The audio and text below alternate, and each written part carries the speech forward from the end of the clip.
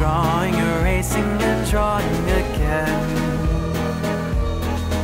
And I've never been in it for fame or attention.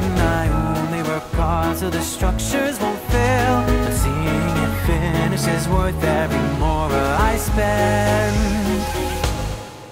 Within every building made with pride, the architect lives on inside. Shining. That's what makes a work of art. We build and we play, sculpting dreams out of clay. With the hope that our towers don't fall. That we won't have to see the writing on the wall.